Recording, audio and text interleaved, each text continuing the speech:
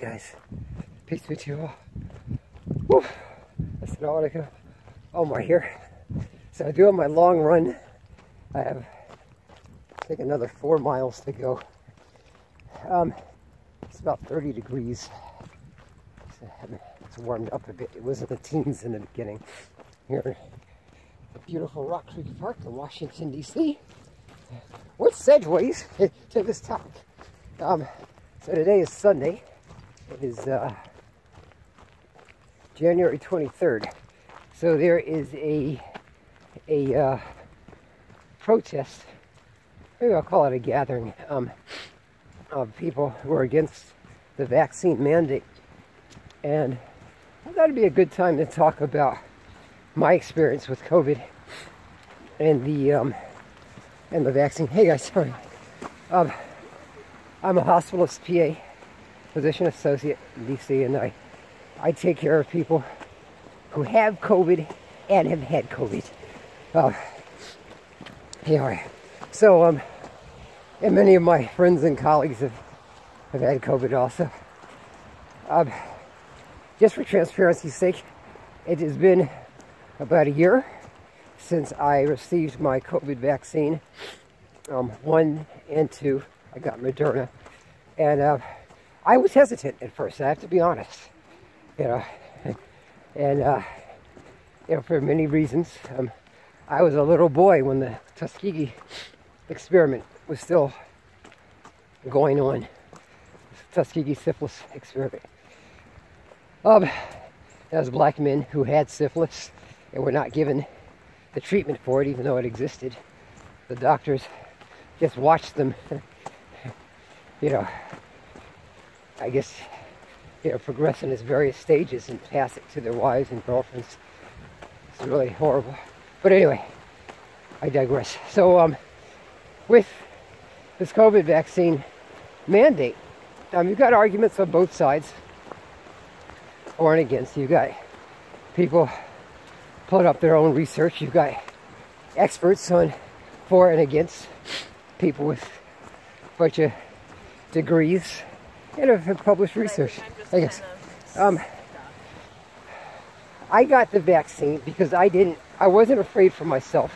I was afraid of getting it and being asymptomatic or low symptomatic and passing it on to uh, my family or um, my, you know, my very worse actually, my very frail patients. We have a nursing home connected to our, our hospital. It's in the same building. And there's a lot of frail elderly. And some of my patients are elderly. We had patients in their past 80 hooked up to mechanical ventilators. So I didn't want to give it to them. I didn't know if they would be able to survive it. I, I, you know, I couldn't deal with that that uh, that burden of guilt that happened to one doctor who who gave it. It was traced back to her. She'd given it to her patients inadvertently, of course. So that's why I got it. Um, and it's interesting. I shared that with you, the viewing community, and I got trolled by some people, which was like, dude, I mean, anyway, do your own thing. I mean, you don't have to make disparaging marks of, remarks about me. I did what I did to help other people. Um, so I thought, because some of my colleagues have gotten COVID, I guess with the Omicron, because they're and they're triple vaxxed, like me. So I will say this: I am not in favor of of people being forced to put things in their body that they don't want to be put in their body. Hey, how are you? Oh, good. good job. Good, good. Um, I, I, there's something very un-American or unhuman, inhuman about that. That's just my opinion. I, I think I'm still entitled to an opinion. I hope. Hope this doesn't come back to haunt me. I do have to uh, renew my my uh, medical license in another by the end of this year. Hi there. Um, but uh, you know that's I, I think that um, we have to try as best as possible to uh, maintain some level of civility amongst each other. If not for others outside of our country, at least for our fellow Americans. I mean, my God. You know, January, this is the month of January, so we had the uh, anniversary, if you could call it, of the Capitol takeover, in which people were killed on both sides officers and the folks breaking into the Capitol. It's another topic. But uh, I just, I really, I, I may be perceived as a fence straddler, somebody who takes neither side, but I really think we have to be civil to each other um, in as much as possible. And I say this as a healthcare provider. You know, I have patients of different lifestyles and doing different things that I may, with which I may not agree, but I still want to render good quality health care to them and be civil to them at the very least and be respectful to them, even if I don't agree with them, no matter how, how vehemently so. Yeah, I think we lose something, we relinquish something of our humanity when we do that. You know, uh, I don't really go to protests anymore. I invited my kids, you know, they're young adults. So my daughter said, no, you know, well, people go to these protests and they just start screaming at each other.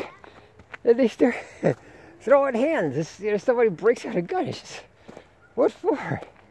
And we see some really ugly sides of, of humanity in this country. In, in very, very recent history in the past five years, whether it's a race matter or health matter or something. Good God, look at this hill. Look at it. That's crazy. That is a steep hill. Okay. But uh I am um, I personally I'll say this, I've not had any side effects thus far from the uh, from the COVID vaccine. I think that people would be less hes- hesitant if the pharmaceutical companies would at least incur some level, no matter how small, some level of, uh, accountability. Should people, it, eh, should people get, you know, debilitating adverse side effects, you know, including death. you know, I used to help run a, a clinical trials. Um, that was one of the things I did as a PA. And, uh, you know, we had a whole adverse reaction. We had inclusion and exclusion criteria for the uh, research participants because we were giving them, we were giving them an experimental drug. And, and I'm not saying the vaccine is experimental. I don't want to get into all, all that stuff. Uh, but it was something that people were putting inside of their body. The uh, and they had the right to know the possible side effects. Um, and even after after we finished the uh, the trials, we still had. Well, I was responsible for doing something called uh, um, it's uh, post clinical trials um, adverse reactions. I forgot the acronym, but um, you know, if the person turns purple within six months of the uh, trials being finished, you know, I got to call the person and say, listen, have you any uh, have you experienced anything unusual? Yeah, I turned purple. Okay, I got to report that as a potential adverse side effect of that of that uh, of that particular drug. If you consider turning purple an adverse side effect. Um, but you know, there's got to be a lot of integrity on the part of the pharmaceutical companies, and I think that's one of the issues that uh, people are having, and rightly so rightly so, I believe. You know, I did research before also, and I had to do something called IRB exemption, Internal Review Board exemption. Um, I'll talk about that later. But uh, again, my main point is really trying to respect people.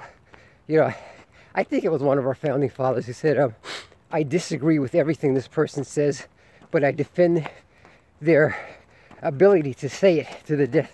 Or their right to say it to the death."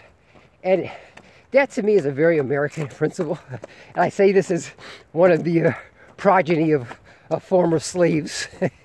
you know, there's many people who didn't enjoy their full rights and citizenship as citizens in this country. Um, but that's it for now. Ooh. It's, you know, these are trying times in which we live. They're always trying times, so we have to try to be the best that we can. That's it for now. Look at this tree. That is so dangerous. it's beautiful here. Anyway, I wish you guys the best of success in your positive endeavors. If you're interested in being a PA or a health educator or you're an avid trail runner or just have some thoughts, feel free to leave something in the comment section or you can contact me on Instagram. All right, that's it for now. Peace. God bless you.